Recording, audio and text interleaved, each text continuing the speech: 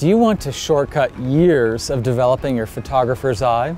Do you want to have your own photography style now? Not many professional photographers will tell you this, but the fastest way to take your photography to the next level is to imitate what other photographers are already doing. My name is Mark Hemmings, and I'm an internationally recognized photographer and photography instructor. And in this video, I'll share with you five shortcuts to amazing photos. These are my best techniques that work like templates and guaranteed to produce stunning results every time. And the best part is, you'll still have the space to use your creativity while taking advantage of these powerful shortcuts. Okay, let's head to beautiful San Miguel de Allende, Mexico, and we can begin. Have you ever heard the term less is more? Well, that really applies to this scene that I have here. Now, do you see the wonderful festive flags flying above the roadway? I really want to capture them. Now, normally, a typical tourist shot would include the cars on the side of the street and any people walking on the street, and that's okay, but we can do better. What I suggest is to really bring out the simplistic aspects of the photo. So what we can do is make use of the sky as a very neutral and plain background by going under the flags. Let me show you. When we use the simplification technique, getting rid of all of the clutter and only have that blue sky by shooting low, all of the viewer's attention goes straight to the flags. This is really good because it transforms your images from documentary straight into fine art photography. Now using the shooting low technique for creating simple shots is great, but you can also add it to your photographs of people or maybe your nature photography. Think of shooting low for a simple background against a beautiful tree. There's so many ways that you can shoot low to create the simple photography that you absolutely love and that will radically transform your photos. Now another really great way to add simplicity to your photos is to actually blur the background behind your subject. For example, do you see this beautifully lit greenery behind me? I absolutely love it and I want to get a picture of it. The only problem is if I take a standard shot, uh, I get a lot of background information and a lot of clutter around the picture. Let me show you. Okay, now that was an, an, okay picture, but we have a lot of background information, a lot of sort of clutter in the picture. We can do much better by simplifying, getting a beautiful background blur. Now, to do that really easily, I'd like you to zoom your lens in all the way if you can.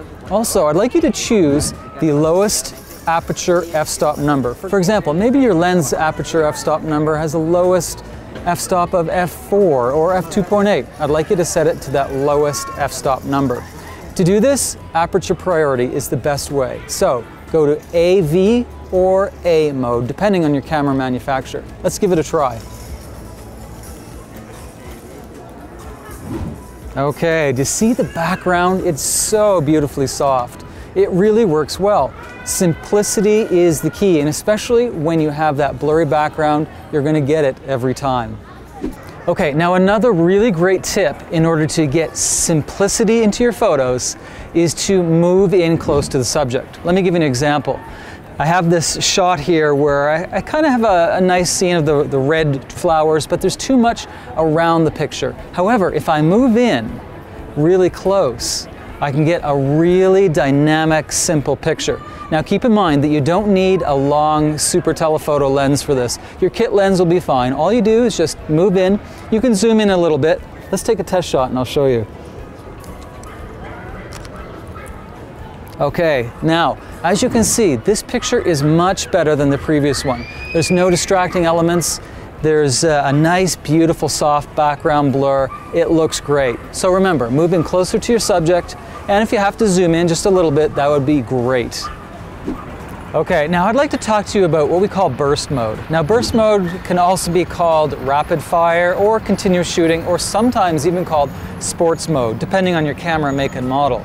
What's happening is your camera is taking many very quick consecutive photos one after the other. Because you have a fast moving subject, you want to get multiple photos because you're not quite sure what composition you want now. Well, rapid fire is the thing for you. So I'm going to actually show you how to do this. First, rapid fire mode is accessible in your camera through your menu system. Now each camera is different. However, it's usually seen with a little icon that has two squares. This is called the rapid fire icon.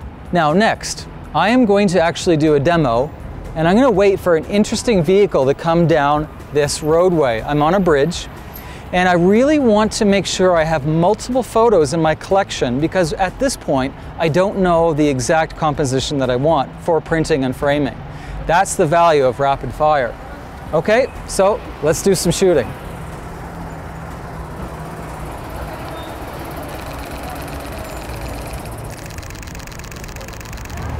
Okay, I definitely have the shot. I love Volkswagen Bugs, especially from an aerial perspective.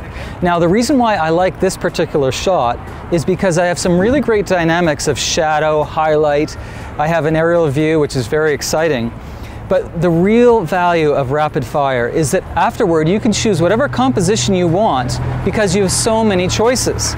In fact, maybe one of the pictures has a group of people on either side of the street that look better than the other. That's why rapid fire is so useful to your photography. Have you ever taken a portrait photo and you really weren't happy with the end result? Well, it's quite possible that you photographed the model or your friend from a high position. For example, maybe you were taller than the model and they sort of looked disempowered or small. There's a really quick and easy fix. All you need to do is get lower than the model and shoot up. It really empowers the model. Now, keep in mind that you want to zoom your lens in and in aperture priority, choose the lowest f-stop number possible. For example, for me, I'm shooting at f2.8. Let's see what happens. This is the normal shot. While it's okay, when I kneel down and get lower than the model, it's going to be even better.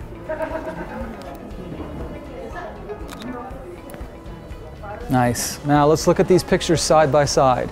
As you can see, the shot where I was much lower looks far better, much more drama. Now another really interesting and dynamic compositional tool is finding elements that are the same. We call them repeating elements. They're the same shape, same size, and usually have three or five or even more of them.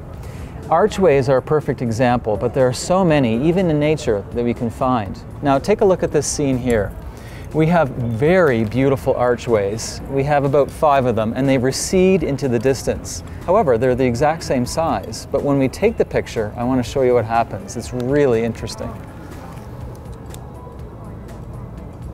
As you can see, those beautiful archways get smaller and smaller and smaller, but in reality, they're all the same size. Now, I'd like to give you a few technical considerations for getting a shot like this with repeating elements. A zoom lens is really great. It really pushes into the subject and it makes it look fantastic.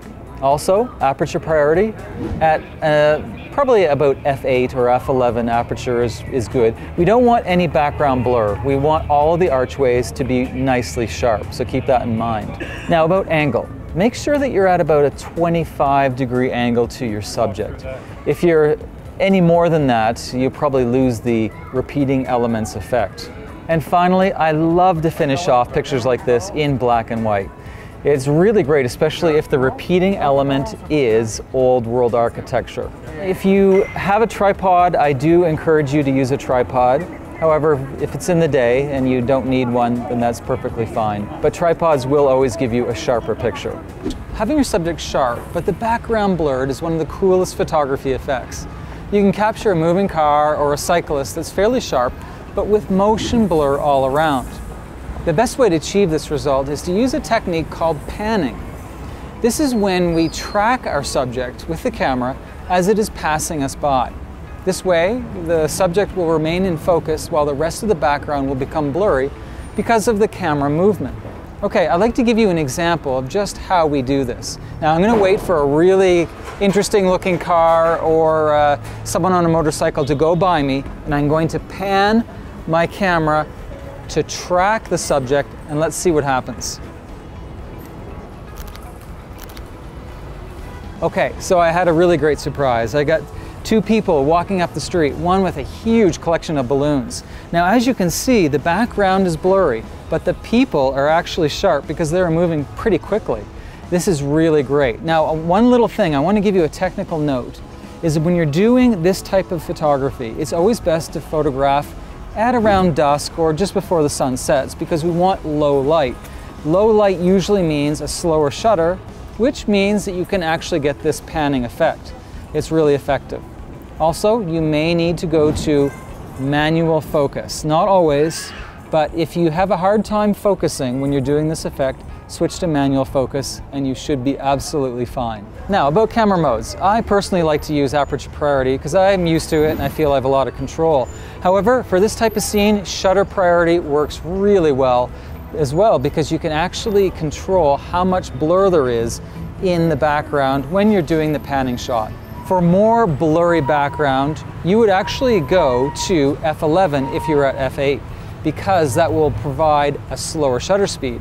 However, if you feel it's way too blurry and it doesn't look good, you could actually go to f5.6, which would actually give you a slightly faster shutter speed, which would actually control how much background blur you have.